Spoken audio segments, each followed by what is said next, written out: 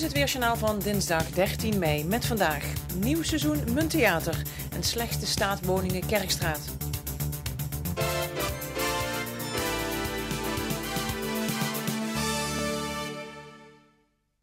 Dames en heren, een heel goede avond.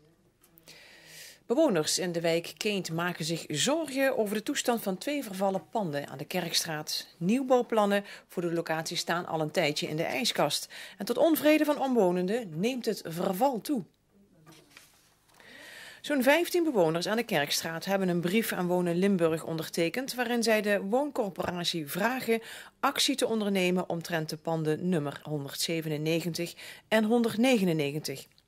Zowel het voormalige winkelpand als de naastgelegen woning liggen al enkele jaren leeg en verkeren beide in slechte bouwkundige staat. Plannen uit 2012 voor de sloop van de panden en vervolgens de bouw van negen appartementen werden door Wonen Limburg in de ijskast gezet. En dat betekent dat omwonenden al heel wat jaren tegen een verpauperd stukje Kinta moeten kijken. De bouwkundige staat van het voormalige winkelpand brengt ook risico's met zich mee, want onlangs kwamen stukken hout van de puin naar beneden. De bewoners willen dat Wonen Limburg een structureel plan ontwikkelt voor de locatie die past bij het karakter van de Kerkstraat. Ook de wijkraad en de gemeente Weert ontvingen een kopie van de brief. De bewoners zijn zich weliswaar bewust dat de verantwoordelijkheid ligt bij Wonen Limburg, maar dat er ook een taak ligt bij de gemeente Weert. Immers, de locatie is geen goede reclame voor het gemeentelijke actieplan Kind kies kwaliteit en ligt nabij het beschermde gemeentelijk stads- en dorpsgezicht rond de kerk. In het Munttheater werd gisteravond het nieuwe theaterprogramma gepresenteerd. Met op het podium de Stedelijke Harmonie Sint-Jozef en gastoptredens van onder andere Wendy van Doren en G. Reinders. Zo werd het een echte promsavond. De presentatie was in handen van Joes Bonen. Joes Bonen nam samen met de gasten in het Munttheater het theaterprogramma van het komende seizoen door. Het Munttheater viert haar 40-jarig bestaan. Van een cultureel centrum is het Munttheater uitgegroeid tot een professioneel theater. En dat is te zien aan de programmering. Tal van artiesten van formaat zijn geboekt voor het komende seizoen. In het theater keken de gasten terug op 40 jaar Munttheater. Vanaf het moment van de bouw van het theater tot nu. Een van de gasten was toenmalig directeur Jan de Boer omdat het theater in Weert een belangrijke regionale functie vervult, is er ook ruim plaats voor de plaatselijke bekendheden, zoals Wendy van Doren, Ed en Frans of de aftrap van het Oktoberfest en de toneelgroep Weert. Voor Wendy van Doren gaat dit seizoen een droom in vervulling. Het Weerter zangtalent beklom gisteren het podium en liet zich begeleiden door de stedelijke harmonie. Andere gastzanger gisteravond was G. Reinders. Samen met Sip van der Ploeg, de voorman van de Friese band De Kast, vormt hij een onverwacht koppel. In november staan ze op de planken in het Munttheater met het theaterconcert Pompenblad en Proemevlaai. En natuurlijk is de jeugd in de programmering niet vergeten. Sneeuwwitje, Alibaba en de 40 rovers, Klaas Vaak. Een kleine greep uit de familievoorstellingen. De veelzijdige Karen Bloemen gaf vervolgens een klein stukje van haar theatershowprijs. Dit jaar komt ze met het stuk Witte Nacht. Scherp van tong, prachtige stem en mooie muziek. De hele show van Karen Bloemen is te zien op 25 maart 2015. In de zaal zaten genodigden en abonnementhouders. Na afloop konden ze in de foyer de lijsten invullen van voorstellingen die ze in elk geval willen zien. En volgende week kunnen niet-abonnementhouders kaarten reserveren. Zoals gebruikelijk via de site van het Munttheater of via de uitbalie. Als elke seconde telt, dan weet u vast wel waar ik het over heb.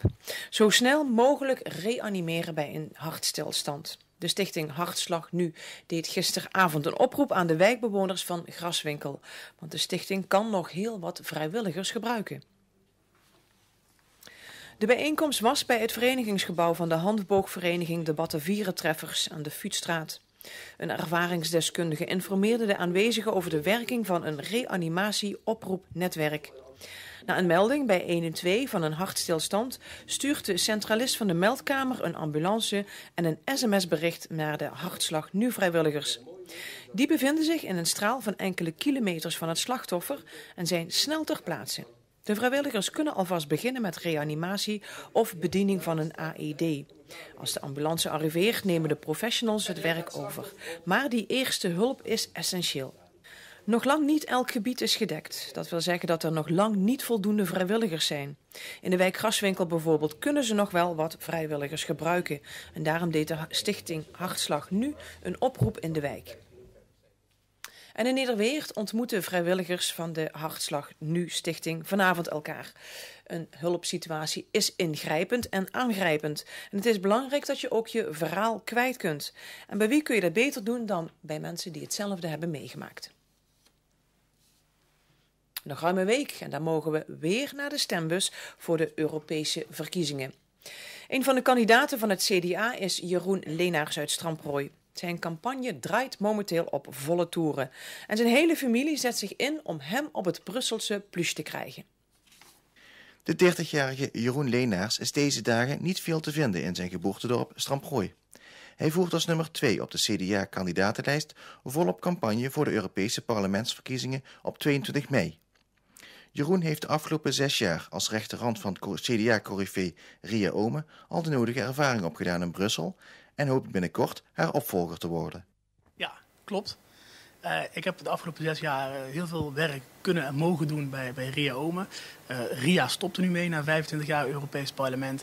En het is voor mij heel belangrijk dat de, we Limburg in Europa houden. Iemand die bekend is met de problemen en de uitdagingen die spelen in een grensregio die Limburg is. en daarom heb ik besloten om mezelf kandidaat te stellen. Ja, want wat denk jij voor Stramprooi, Weert te kunnen bereiken? Nou, ik denk dat als je kijkt naar Stramprooi, Weert, maar ook Limburg als zodanig. Um, het is natuurlijk een grensregio. En grensregio's stonden er vroeger altijd onbekend dat het echt letterlijk begrensde regio's waren. Nu hebben we door Europese samenwerking zijn die grenzen vervaagd. Uh, en zijn het meer regio's van de, de grenzeloze mogelijkheden geworden. Maar we merken in de praktijk dat er nog steeds veel mensen tegen problemen aanlopen wanneer ze van die grensoverschrijdende mogelijkheden gebruik willen maken. En daarom is het belangrijk dat er iemand in Brussel zit die daar oog voor heeft, die weet wat er hier speelt en die ook kan helpen om daar oplossingen voor te bieden. Er heerst in Nederland nogal wat sceptisch als het gaat om de politieke bemoeienissen vanuit Brussel. Toch hebben volgens Jeroen Leenaars Europa en Nederland elkaar nodig. Nou, het uitgangspunt is dat Europa moet uh, groot zijn op de grote zaken en de kleine zaken ook vooral klein laten. Dat betekent dat we op sommige punten gewoon meer Europa nodig hebben. Dat hebben we ook gezien bijvoorbeeld met het, met het uh, bestrijden van de crisis. We hebben gezien dat we dat niet alleen als Nederland kunnen. Daar hebben we Europa voor nodig. Maar laten we alsjeblieft aan de landen zelf over hoe we precies bepaalde onderwerpen oplossen. En dat gaat om... Om hele kleine dingen. Wat het belangrijkste is, en ook als we vertrouwen willen krijgen voor Europa, is dat we onze afspraken nakomen en dat we het huis Europa weer op orde brengen. Want dat is het nu niet. En als we nou heel dicht bij huis kijken naar het treinverbinding tussen Hamel en Weert, heb jij daar misschien nog enige invloed op? Kun je daar nog wat bewerkstelligen? Ik hoop het van harte. Voor mij zou het fantastisch zijn mocht ik gekozen zijn dat ik vanuit Strompooien met de trein eh, vanuit Weert naar Brussel kan. Want het is nu natuurlijk belachelijk dat je alleen of in Roosendaal of in Maastricht die, uh, die grens over kan met de trein. Uh, het Europees Parlement heeft daar geen formele rol in. Maar uh, als Europarlementariër kun je natuurlijk proberen achter de schermen mensen bij elkaar brengen van beide kanten van de grens om daar wel oplossingen voor te vinden. Jeroen Leenaars voert deze dagen flink campagne en krijgt hulp van heel de familie. Zij helpen met onder meer het plakken van posters en het plaatsen van de borden langs de weg. Nog negen dagen en dan mogen we onze stem uitbrengen tijdens de Europese parlementsverkiezingen. Het is de verwachting dat de opkomst niet bijster hoog zal zijn. Maar waarom is het dan toch belangrijk om 22 mei naar de stembus te gaan? Ja, absoluut. Europa is belangrijk. En we zitten hier in een regio waarin we ontzettend veel grenzen hebben met het buitenland en eigenlijk maar een klein stukje met Nederland. Uh, als je kijkt naar de toekomst van Limburg en de toekomst van Nederland, die ligt in Europa. Uh, als we onze rol in de wereld willen blijven vervullen, als wij vrede, veiligheid en welvaart op ons eigen continent willen garanderen, dan moeten we samenwerken met andere landen. En dat moeten we met gezond verstand doen. En daarom is het belangrijk dat iedereen zijn mening daarover geeft over wat voor Europa we willen. Niet of we voor of tegen Europa zijn, maar over wat voor Europa we willen. Dat we dat op 22 mei heel duidelijk maken. Kortom, daarom is stemmen heel belangrijk. Ontzettend belangrijk. Ja, tot zover de journaalberichten. En dan is het nu weer tijd voor een nieuwe aflevering van Weet het Vluchtje.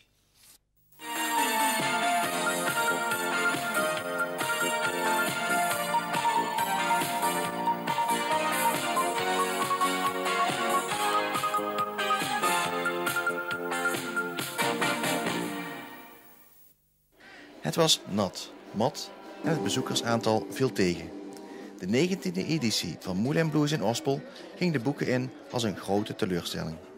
De regen kwam die tijden met bakken uit de hemel. Of dat de reden was dat het publiek het niet afweten, of was het het ontbreken van grote namen in 2004. Dat was voor de organisatie een beetje gissen. Feit was dat het festival in 2004 niet aan de verwachtingen voldeed. Ruim 4000 betalende bezoekers passeerden in twee dagen de poorten. Dat waren er zo'n 700 minder dan het jaar daarvoor. Neemt niet weg dat het een gezellig festival was, want daar staat Moulin Blues onbekend. De 29e editie is net achter de rug en dit jaar stond de zon hoog aan de hemel. Het relaxte festival trok maar liefst 7000 bezoekers. En dat zijn er aanmerkelijk meer dan 10 jaar geleden.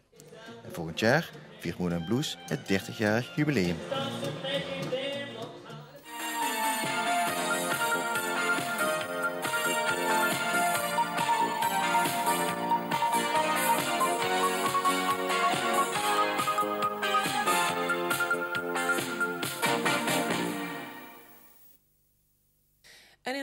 Rubriek Consumentenvoorlichting zijn we vandaag te gast bij Rick.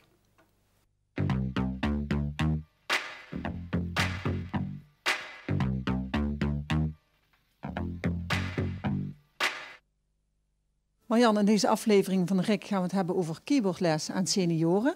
Waarom hebben jullie eh, ervoor gekozen om dat eh, in een aparte groep eh, aan te bieden? Nou, dit is een groep mensen die vinden het heel erg leuk om samen muziek te maken in groepsverband. Uh, ja, ze volgen de lessen bij Harry, dat is dus ook een uh, aparte docent wat deze lessen verzorgt. Hij geeft al sinds de 80 jaren keyboardles en heeft nu een aantal groepen uh, senioren die dan echt iedere keer met hetzelfde groepje muziek gaan maken. En hoeveel cursussen volgen die lessen nu? Nou, op dit moment zijn er toch wel uh, acht groepen van circa drie mensen die, uh, die bezig zijn met de keyboardlessen voor senioren. Ja, en jullie willen dat juist laagdrempelig maken ja. door zelfs gratis keyboardlessen aan te bieden. Kunnen mensen zich daar nog voor aanmelden? Het kan eigenlijk altijd. Uh, geef gewoon aan dat je belangstelling hebt om het een keer uit te proberen. Dan zorgen wij dat je geplaatst wordt. De afgelopen maand was een speciaal aanbod. Vier lessen achter elkaar. En die waren inderdaad geheel vrijblijvend en gratis. Ja. Nou, daar was ook enorm belangstelling voor. En uh, ja, de mensen die het doen zijn super enthousiast. Ik ga er ook vanuit dat ze ermee verder gaan. Zeg, ik hoor al de klank op de achtergrond. Ja. Kunnen we eens uh, gaan, gaan kijken naar zo'n les? Zitten hier vlakbij. Loop maar even mee naar het lokaal.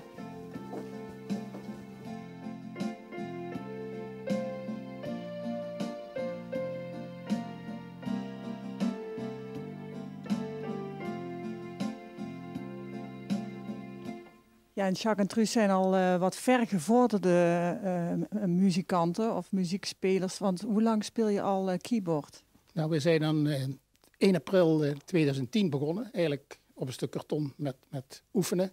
En in het najaar, dus september, zijn we eigenlijk met de eerste lessen begonnen.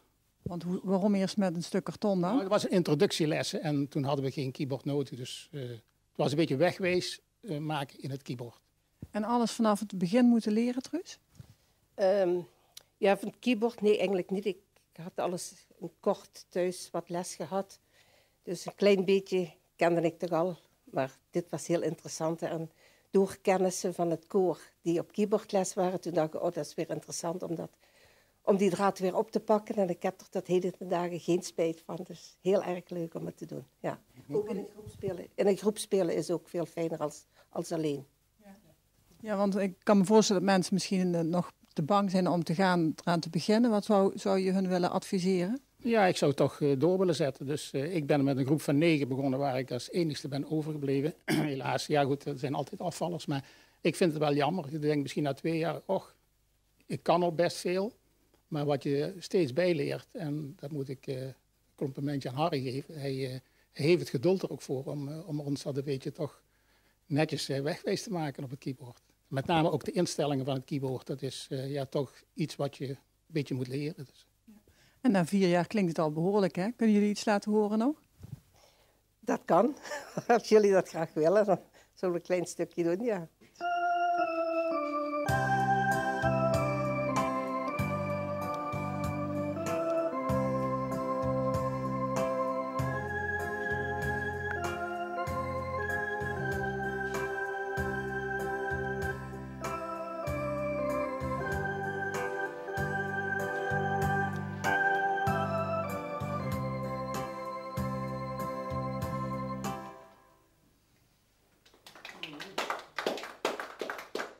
Dus u bent een van de nieuwe cursisten. Waarom bent u mee gaan doen? Nou, ik las dat gewoon in een krantjes dat je hier naartoe kon gaan om eens te proberen of dat iets voor je was. En ik hou heel erg van muziek en van dansen, allemaal dat soort gedoe. Ik denk, ga eens naartoe. Nou, ik moet zeggen, ik vind het hartstikke leuk. En kon u van tevoren ook al muziek spelen? Eigenlijk helemaal niks. Ik heb wel eens een beetje zo pingelen, maar verder niks. En moet je dan ook veel uh, thuis oefenen? Dat ligt helemaal aan jezelf. Dus als je graag dat wil kennen, dan moet je oefenen. Maar dat je nou zegt, ik fleur met de pleurs, natuurlijk niet. Het moet leuk blijven. Ja. En hebt u thuis al geoefend? Ja, ik heb thuis een oude orgel staan, een oude piano.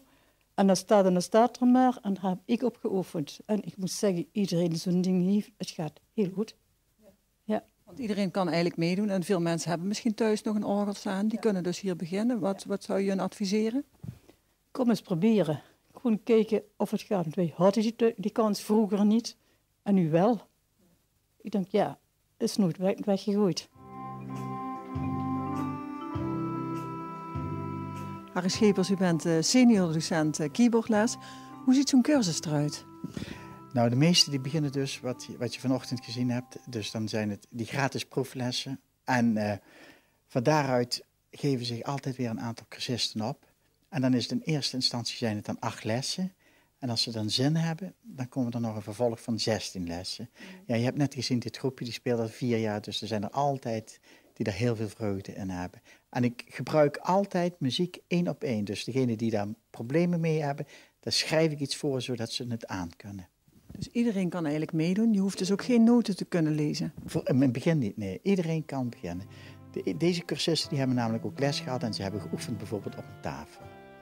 Het is de vervolglessen, dan kunnen ze wel een keyboard huren. En de huurprijs, wat ze daarvoor moeten betalen, krijgen ze als ze uh, het willen kopen, krijgen ze de huurprijs terug.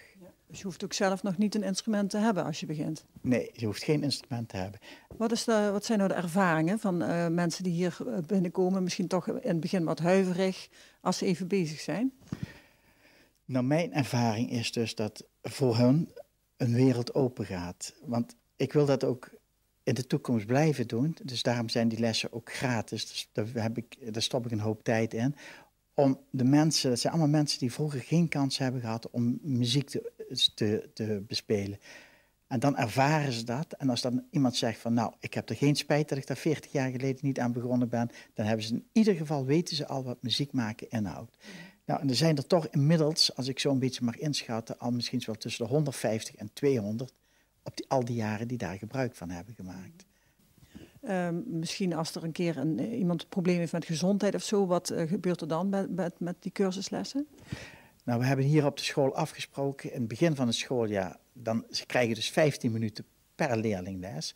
Is het nu een groepje van vier en er vervalt er eentje af wegens gezondheidsredenen en ook wegens gezondheidsredenen van de partner, dat kan ook. De tijd die afgesproken is, blijven ze even goed les krijgen. Dus als we afspreken met vier in het uur en er zouden er twee van afvallen om gezondheidsredenen, dan blijven die andere twee de rest van de lessen ook een uur les krijgen.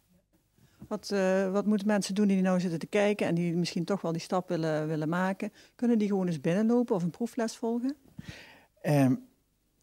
Eén proefles kan altijd per persoon, maar ik weet uit ervaring dat zij het fijnste vinden om met een groepje les te krijgen. Dus ik probeer altijd dan uh, een aantal lessen als proefles te geven en dan in een, in een, in een groepsverband. Mm. Dus liefst in een groepsverband. Maar als iemand twijfelt en die heeft alles gespeeld, kan hij altijd aankloppen om een keertje een proefles te volgen. Dus gewoon aanmelden bij Rick, bij de balie ja. of even bellen en dan komt het goed. Dan komt het altijd goed, ja.